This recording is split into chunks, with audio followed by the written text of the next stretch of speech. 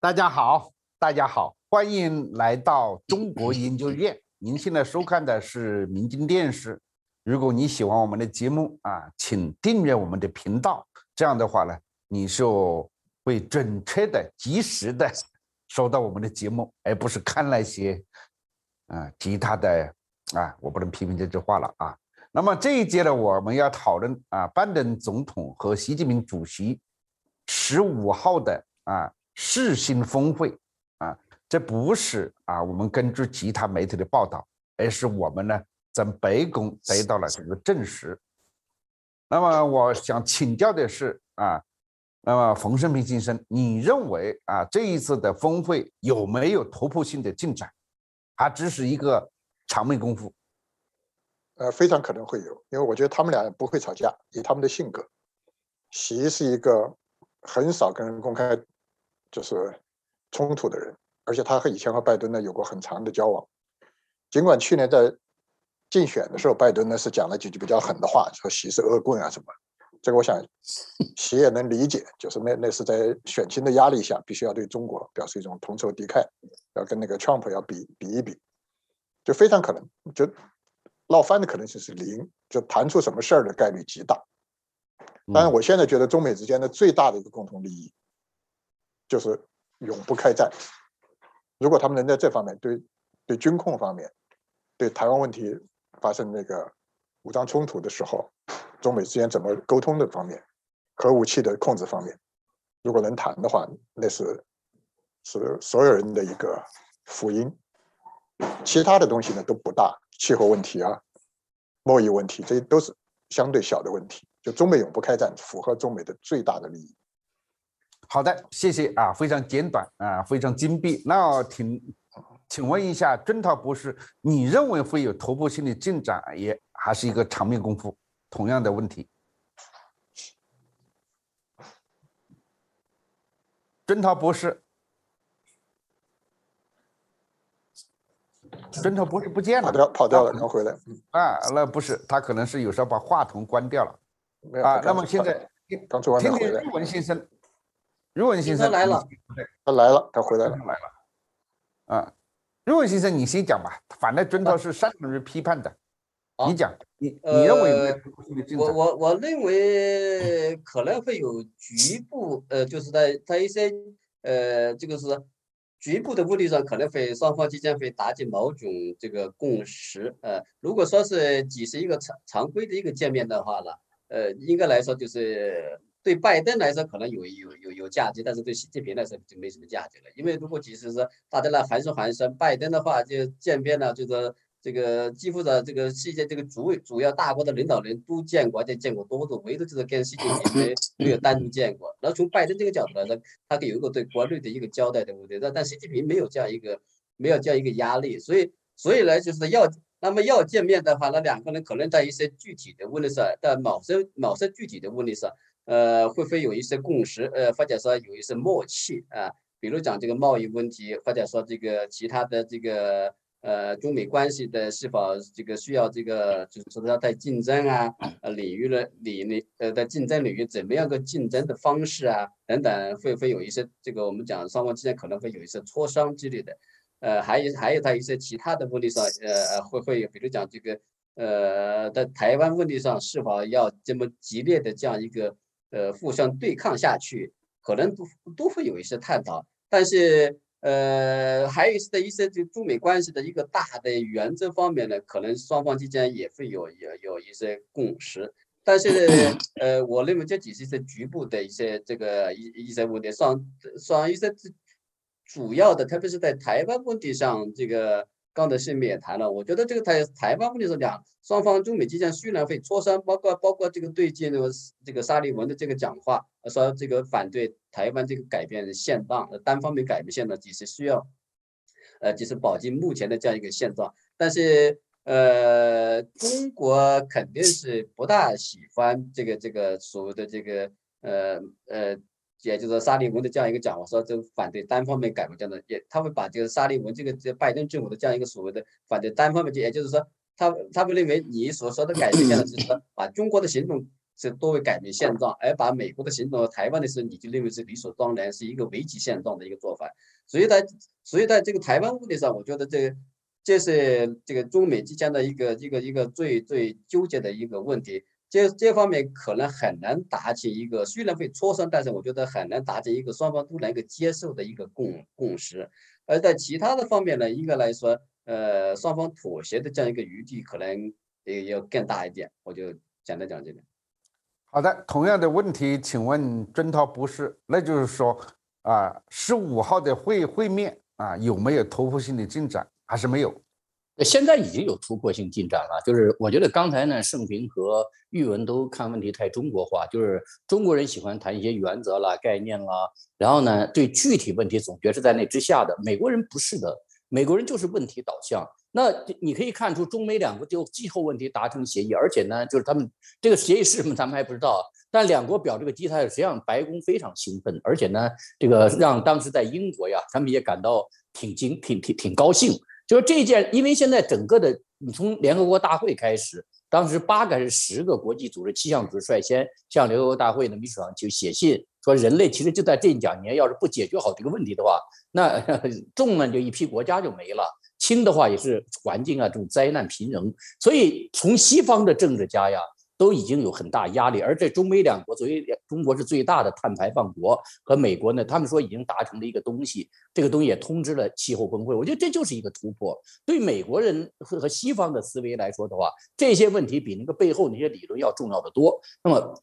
第二呢，你看这次在最近的时候，前后说美国的这个安全顾问和的反我我我不知道布林肯说了没有，就说美国不谋求改变大陆的政治制度，在过去想通过改变大陆政治这个说这个主张呢是失败的。这个呢，我觉得大，但是我觉得大陆的解读可能不对，大陆的解读呢可能会解读成是哦，你看美国终于不准备再采取各种方式对我们进行渗透，美国从来就没有这个打算。去用这种什么武力呀、间谍呀，或者策反呐、非洲非 NGO 啊去做这些事。他其实美国真，但是美国讲的就是说，不要再指望说帮着中国的发展，把中美关系搞好了，就能影响中国，让它发生变化。美国现在已经不准备再做这个指望了。但是不管怎么样呢，这个就使得我们，你记得吗？就是在他们美国其实几次说要进行好搞好关系时候，当时王毅还有那个。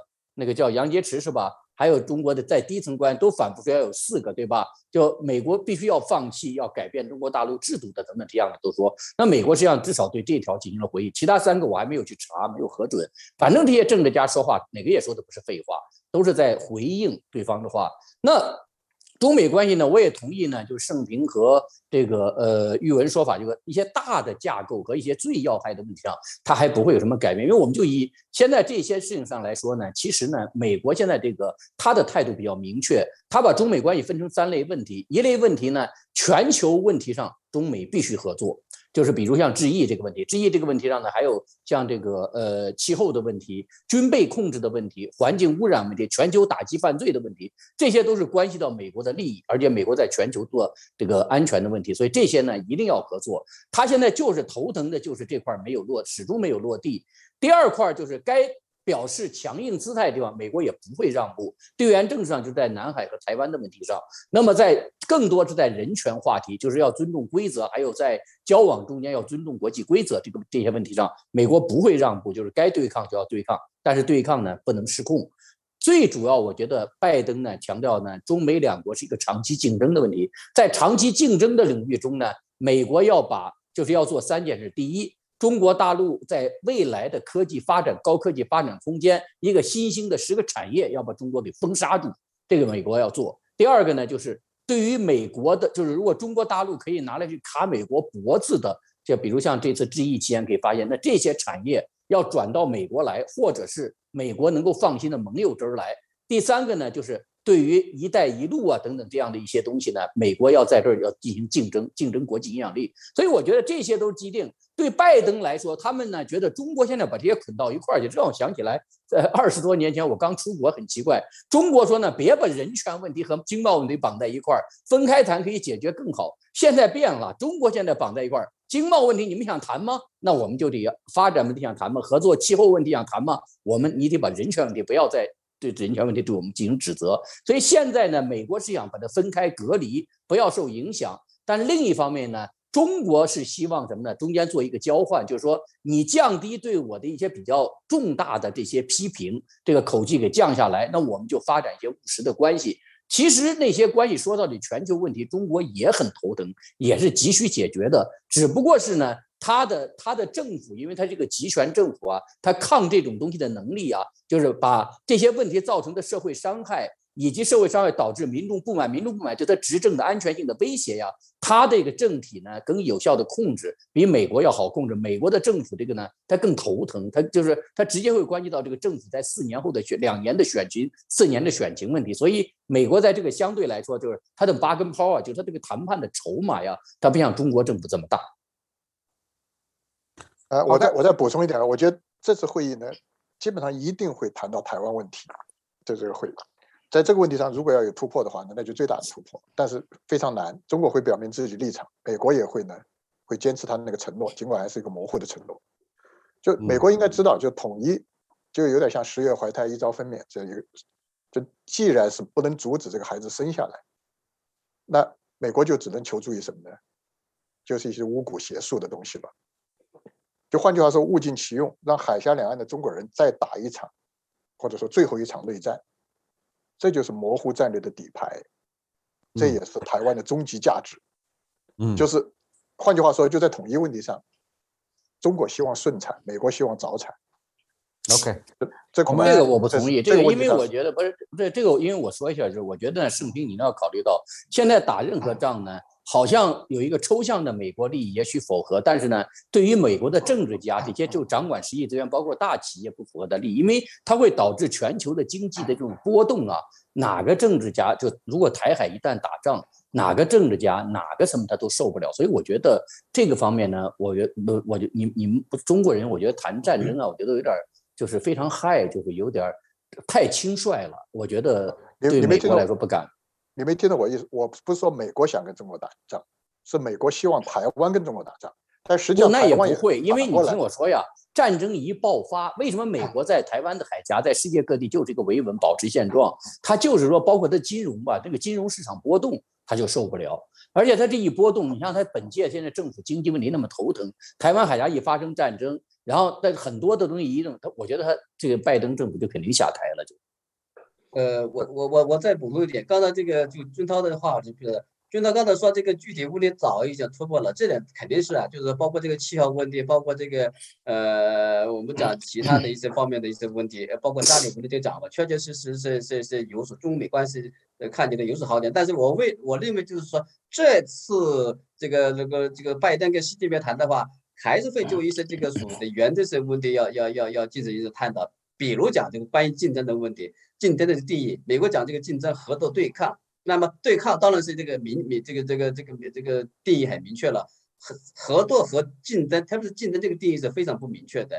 在中国看来，在中国政府看来，在习近平看来，你所谓的美国的竞争就是说允许你胜我败，啊，就是说你美国胜中国败，那中国肯定是不接受这种意义上的竞竞争，包括这个包括这个刚才军长讲了什么，在一些这个关键的供应链上把。把中国排斥，呃，在一些产业上把中国排斥，要要打压中国等等。那你说的中国会接受这样的定义吗？所以这既是要拜登跟习近平跟拜登要谈的这个一个东西，而且我所以所以说，如美国是否会收紧呃收紧他这种所谓的这个美胜中败的这样一种定义的话呢？那我我我觉得如果说是这个在这个方面，呃，如果说在美国是做法有所缓和的话。可能你也认为可以算是一个突破，不是于文呢？你一定要知道啊，美国现在讲要对等于什么呢？是中国首先排挤美国，就是中国政府始终根据自己的需要允许美国产品在那儿用它的自己的影响力一直排挤美国。然后呢，美国现在只说呢，如果你不撤销这种排挤，那我就也就比如我就不采购你的东西，就是包括征关税，实际上前提都是基于这样的一个，就是说你现在不遵守一个贸易规则，公平贸易规则，就是怎么简单说，第一。拆除进口壁垒，第二，这个取消出口补贴，第三，就知识产权付费，就这三条，你造成了。所以在我看来，我觉得呢，美国其实说，如果你要是说不遵守公平贸易规则，我就不跟你做生意了。我没有强加你，不像是不像一八四零年英国用炮舰强行打开大门，要求建立公平贸易。美国说好了，你要公平贸易不做，那我就不做了。我觉得我们来自中国大陆人老是听中国那点理由，好像因为美国好像在改变现状。你要知道这个现状啊是不合理的。之所以美国前端容许呢，有两个原因。第一个原因呢，是因为战略需要，要拉中国去跟苏联作对，得让中国尝点甜头。第二个原因呢，就是他们觉得呢，这个。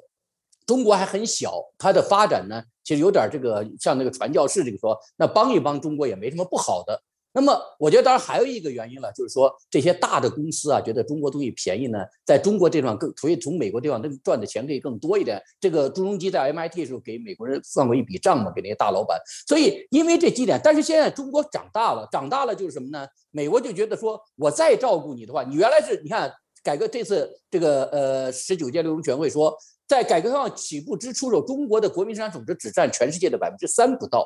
那现在已经占到了世界第二位的时候呢，它的出口是第一，是吧？它的进口，那它就扭曲国际市场了。我再给你照顾，就所以他说呢，我不能再照顾了。这第一个，还有一个呢，你现在赚了钱之后到处给我捣乱，你一定要知道，中国不许美国人干的事情，美中国到处在干，对吧？你说要美国遵守国际规则，南海裁决你怎么不遵守？海洋法你是倡导国和签字国呀？对吧？那所以我就在讲说这些东西呢，我觉得你你站在中国角度说中国不干，你有什么不干的呢？你都是你破坏的规矩嘛。所以美国说要讲对等，这无非主。好的，我问一个比较八卦性的问题啊，刚才讨论的太严肃了，就是 CNBC 的报道，就是说在这次峰会中间，习近平有可能会邀请拜登总统出席北京的冬奥会。我只问大家一句话。你认为会还是不会？郑志文先生，你认为啊，拜登总统会答应吗？假如习近平主席这么提出来了，呃，拜登肯定不会去的。哈哈，OK。那么这个冯胜平先生不会，他丢不起这个人。啊，王俊涛博士不合礼节，他要做国事访问，顺便去可以，这个我觉得不合礼节。呃，所以你简单的说就不会去，是不是？不不不不，要去的话，他会作为副产品，比如我们进行一次国事访问呢，甚至这个那就是有礼炮啊，或者是有个这个可能，但是呢，不会专门去。好的，谢谢三位，很快就会印证三位的判断力。啊，错了也没关系啊，我们就是忘记。行，你必须要告诉我你的情报是什么？是去是吧？我看你这个笑话，你看，我也我太了解和平了，就是这个。好的，先把咱们仨都给套在这儿。嗯，好，行。好的啊，那么非常感谢三位嘉宾啊，感谢我们的观众，感谢我们的导播，别忘了，别忘了，别忘了给我们的节目点赞，更别忘了你到下面讲一讲，假如习近平主席邀请。拜登总统了，拜登总统会不会去？谢谢。节目中言论为个人见解，不代表民进的观点或立场。YouTube 频道名：民进火拍，苹果博客名：民进火拍音频版，网站 triple w minjingnews.com，推特：@minjinnews，脸书：facebook.com。